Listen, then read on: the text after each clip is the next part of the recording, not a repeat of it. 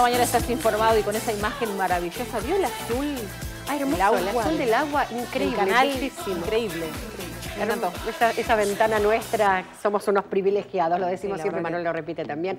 Así, que la verdad, privilegiados en tener esa vista maravillosa y lo que tenemos nosotros ahora para vos es lo que pasó un día como hoy. Vamos a ver las efemérides del día de hoy y vamos a recordar hechos históricos. Hoy tenemos lindas noticias, y lindas vistas. Todas relacionadas con la comunicación.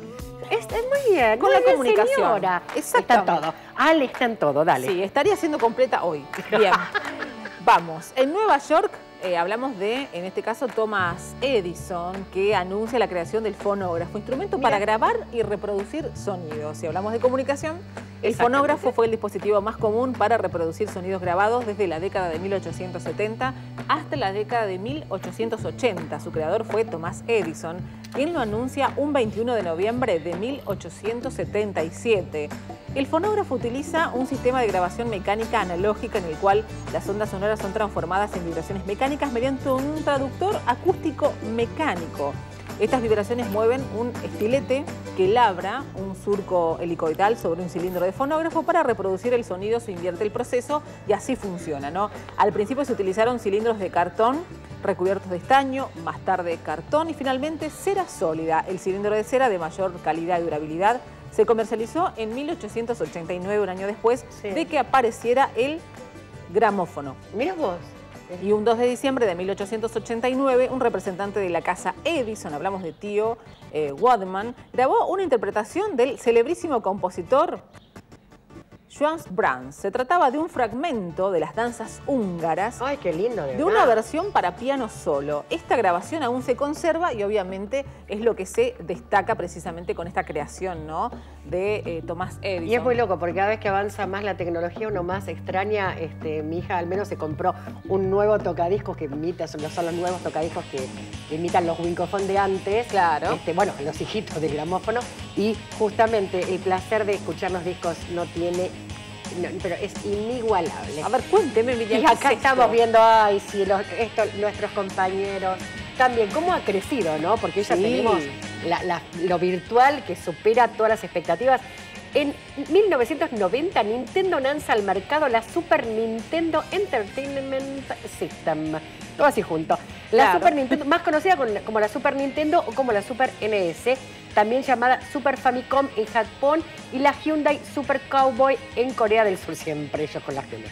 Es la tercera videoconsola de sobremesa de Nintendo y la sucesora de la Nintendo Entertainment System de América y Europa. Mantuvo una gran rivalidad en todo el mundo con la Sega. Claro, era la Sega o la Nintendo durante la era de los 16 bytes. 16 bytes, ¿qué estamos hablando? Mm. Fue descontinuada en el año 1999 y años más tarde fue relanzada virtualmente con la Wii. Que esa, bueno, arrancó y no paró nunca más. Fue la más exitosa y vendida de la era de los 16 bytes. Gracias al chip Super FX, la Nintendo tuvo los primeros videojuegos totalmente tridimensionales en las consolas siendo Star Fox el primer videojuego para consola con gráficos completamente tridimensionales. En España, el eslogan de la consola fue El cerebro de la bestia y Super 16 bytes. Pero hoy le pasamos con creces, pero así todo, como te decía, también buscan los fanáticos o, o quienes siguen mucho los juegos, las videoconsolas viejas. Exactamente. Y ahora pasamos a algo importante, porque la ONU organizó el primer foro mundial de la televisión. En 1996, la Asamblea General proclamó el 21 de noviembre Día Mundial de la Televisión, una fecha que conmemora además la celebración del primer foro mundial sobre ese medio en la ONU.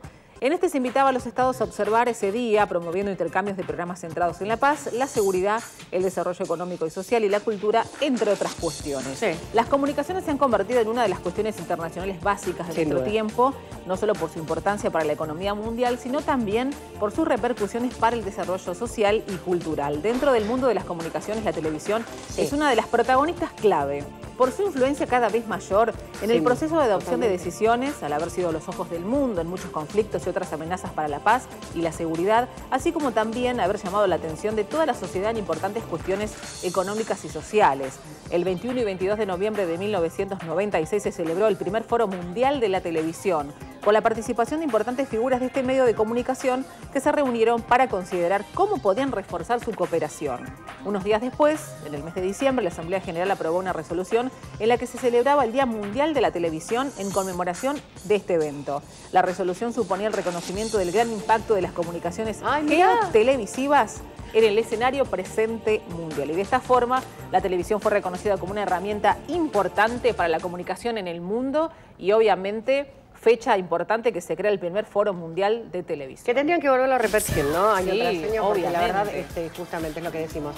Hoy los medios y la televisión este, nos, nos, une, comunica y somos formadores de opinión y con eso hay que tener muchísimo cuidado. Pero recién veía las imágenes de la llegada a la luna sin comentarios del piso, nada. Bueno, vos estás más o menos, a vos te hablo, vos que estás detrás de la cámara, a vos estás más o menos ahí, estamos, estamos adentro todo. Bueno, decime que, Caito, decime que no viste la llegada a la luna. La viste, bueno, eso. Yo la vi en vivo, por eso me acuerdo que era chiquita, pero la vi en vivo, chicos, a ver. Está bien, mira. Bueno, pero ¿y qué sintió en ese los momento? 40, con los 40 ¿Qué sintió en ese momento? No, es que era, era como, no, entendía, ah, porque vos estabas viendo la luna. Este, yo era chiquita, que la luna era de los cuentos, las cosas y de repente estaba había una persona que bajaba ahí, en mi casa había una emoción este, y parecía como que no bajaba nunca, claro, era todo tan despacito. Así que, pero bueno. Y Bien. bajamos. y de la, luna, ¿sabes? Le invito, Miriam, a ver los, el estado de vuelos de la provincia de Tierra del Fuego. Porque es importante. la tierra, sí. La, la, bajo a la tierra un poquito y nos vamos a conocer el estado de vuelos en la provincia de Tierra del Fuego para recibir a nuestros seres queridos. Siempre digo lo mismo porque está bueno. El, ese abrazo, ¿no? Cuando llega Ay, la gente linda de otros lugares. Exactamente. Vamos. vamos con Aerolíneas Argentinas, el vuelo 1878 que venía desde el aeropuerto Jorge Newbery llegó a las 8.05, estaba estimado, llegó a las 8.20. Perfecto, el vuelo de la TAM, 4.442 con procedencia Aeroparque, 9 horas, arribado, 9.15 el arribo, Muy bien, vienen así como con como delay.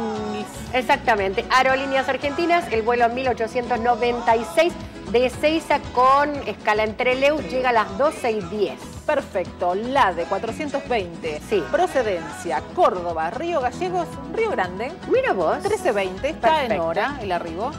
Aerolíneas Argentinas 1854, chicos, bueno. Llega a las 14.55, eso es lo que vale, no importa el número de vuelo, llega a 14.55 puntos. bueno, vamos con el vuelo de Aerolíneas Argentinas, el 1690, con procedencia Aeroparque Bariloche Calafate 1530, es el arribo por la puerta 4. Muy bien, abroches el cinturón de seguridad, señora, porque vamos con el 1870 E6 a Calafate 16.05 en hora. Llega para la Cocoa. Perfecto. Perfecto. Perfecto me salió. Hoy estamos mal, hoy estamos mal. El café este no sé qué tenía, Miriam. ¿eh? Aerolíneas Argentinas anuncia su vuelo 1890 con presencia Aeroparque. 19.30 está en hora por la puerta número 3. Exactamente. Perfecto. Ese va a quedar para todo el lunes. Sí, sí, ese va a quedar histórico. ¿eh? Bien, y de ahí la invito, Miriam, a hacer un aterrizaje breve ¿eh? por el aeropuerto de Río Grande. Mientras no sea forzoso. No, no, no, forzoso no, va a ser breve. Va a ser breve el, aterrizaje. Vamos con el vuelo 1848 de Aerolíneas Argentinas con procedencia Ezeiza, Buenos Aires. Ya aterrizó, nos dicen 9.15 fue la, llegada de este vuelo. El vuelo del la del el 420, qué difícil que es la el número del vuelo. Es el viene desde Río Gallegos, a las 11.30 está programada su llegada. Perfecto, y el último vuelo de Aerolíneas Argentinas, el 1844, con procedencia Buenos Aires, Aeroparque, 5.55 pm es el estado y está programada su llegada. Perfecto. Muy bien. perfecto. Y ahora, mira, como lo de los vuelos no salió así tan perfecto, vamos a ver si nos vamos por tierra. Nos vamos por tierra, nos vamos por tierra, vamos al Paso Internacional San Sebastián para aquellas personas que conducen habitualmente y van a salir de la provincia de Tierra del Fuego. Este servicio es importantísimo teniendo en cuenta que el horario de atención en el Paso Fronterizo San Sebastián Será durante 24 horas. En Argentina y Chile, abastecimiento de combustible normal.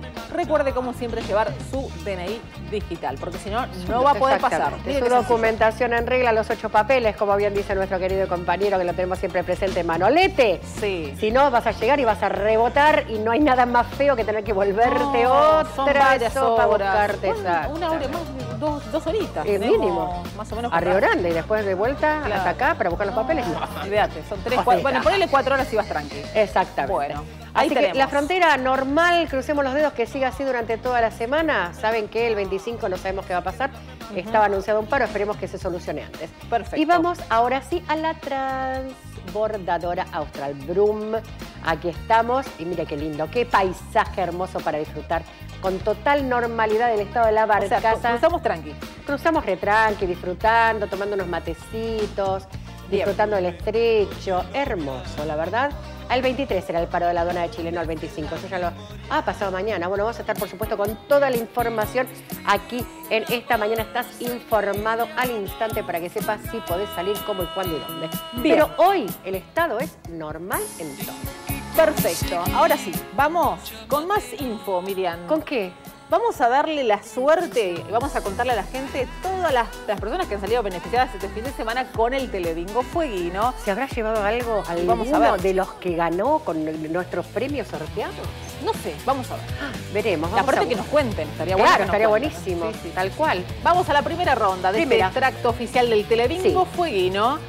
Primer, el cartón 5297 Sí. El premio a cobrar ha sido de 1.500 pesos cada uno. Lo compartió con el 5.346, exactamente, Ale. Eh, la, primera línea compartida. El bingo, cuénteme. El bingo es para el cartón 9.006. El premio a cobrar fue de 12.000 pesos. Por las dudas, si no te enteraste y resulta que tenés el cartón 1.399, sabelo, lo compraste en la agencia 45, te ganaste 5 mil pesos. Bien, y el bingo fue para el cartón 8277 de la agencia 171. El premio a cobrar fue de 16 mil pesos. Muy Lindo premio. Lindo premio. Ahora, y ahora, escúchame, el cartón 2569 cobra una línea 15 mil pesos. Mira qué interesante. Excelente. Y el bingo fue para el cartón 5511 de la agencia 156, premio a cobrar 50 mil pesos. Qué bien te vienen en esta fecha. Acordate que el próximo sorteo es el 27 de noviembre, que este sorteo vence el 5 de diciembre. No retiraste la platita, no fuiste a reclamar. Mm. Agua y ajo, ¿entendés? No puedes ir a reclamar más nada después. Perfecto. El pozo acumulado, mirá, Ale. 103 mil pesos a la bolilla 45. Y la superlínea 200 mil pesos a la bolilla, 8. ¿Mm? Excelente. Qué lindo. Muy bien, así pasaba eh, en este caso la actividad ¿no? de toda la agencia, de cómo está trabajando el Telebingo Fueguino y todos los afortunados. Felicitaciones a todos. Y tenemos algo para informarle a la gente. Una importante actividad, Miriam. Ay, sí, Vamos a pintar murales. Qué lindo. Y ahí aparte lo que le esperaban los chicos a Milo Lockett en el Jardín del Caupen 2 yo no les puedo explicar la ansiedad que tuvieron este fin de semana porque ellos estuvieron trabajando sin saber que él iba a venir a nuestra provincia con distintas eh, artistas nacionales y entre ellos estaba Milo Lockett cuando se enteraron que iba a venir, enloquecieron. Así que en el marco de la Fundación IPF, hoy hay una jornada de arte abierta. Hoy está de 10 a 13, ya, ya está llegando. Ya está llegando. En el jardín número 19, en San Juan 170, en el barrio Los Alacalufes 2.